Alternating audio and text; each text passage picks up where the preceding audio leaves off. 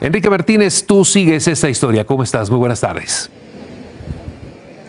Gracias Enrique, buenas tardes, gusto en saludarte.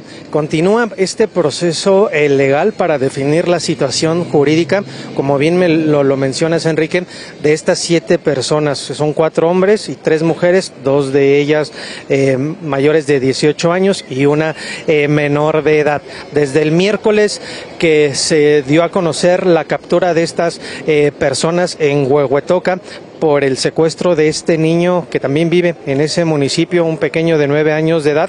Desde el miércoles hasta hoy, Enrique, alrededor de la una de la tarde, estas personas estuvieron ante la gente del Ministerio Público en instalaciones de la Fiscalía General de Justicia del Estado de México en la zona de San Juan Ixguatepec, todavía, Enrique, perteneciente al municipio mexiquense, por supuesto, de Tlalnepantla. Eh, de ahí, alrededor de esta, de la una, una y cuarto de la tarde, salió este convoy y en estas imágenes de nuestros compañeros Uriel Muñoz y Fabián Reina salieron hacia eh, la zona, a otras instalaciones de la Fiscalía Mexiquense, pero ya en la zona del periférico norte y la avenida Primero eh, de Mayo, todavía dentro de Tlalnepantla. Ya lo mencionabas, Enrique, ¿por qué hicieron esta, esta escala previa a su llegada a los centros penitenciarios, todavía en instalaciones de la Fiscalía, para, como parte de estos procedimientos legales, Enrique, se les hará una nueva eh, valoración, un médico legista, una nueva valoración eh, médica a estas personas para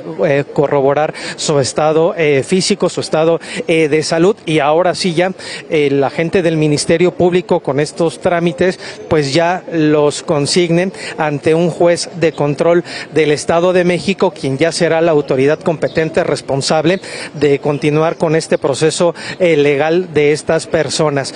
se prevé que el fin de semana ya inicie eh, esta eh, audiencia para saber si se les vincula o no proceso por el delito de secuestro y lo que resulte eh, derivado de estas investigaciones desde el rapto del niño el 10 de octubre, el lunes apenas, Enrique, hasta el día de hoy se pueden complementar algunas indagatorias más, otras investigaciones por otros delitos. Nos comentan aquí el personal de esta fiscalía que nos muestra nuestro compañero Uriel Muñoz, una hora, hora y media podríamos seguir aquí en lo que se hace esta valoración médica y ya de aquí, Enrique, dividirse en dos operativos de seguridad. Las mujeres, como lo mencionabas, al penal eh, de Barrientos, muy cerca de esta zona, y los hombres, los cuatro, irían hacia Cuautitlán Izcalli, un poco más retirado de este punto del norte del Valle de México, también en un fuerte operativo de seguridad. Lo que llama la atención al momento, Enrique, es que en estas instalaciones del Centro de Justicia de Tlalnepantla, ninguna persona puede ingresar. Si vienen a realizar cualquier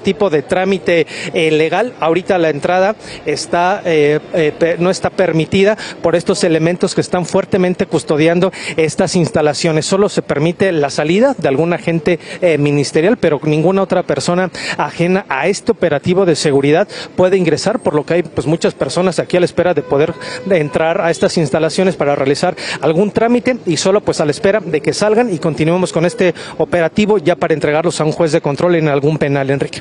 Enrique, gracias. Por supuesto que seguimos ahí al pendiente.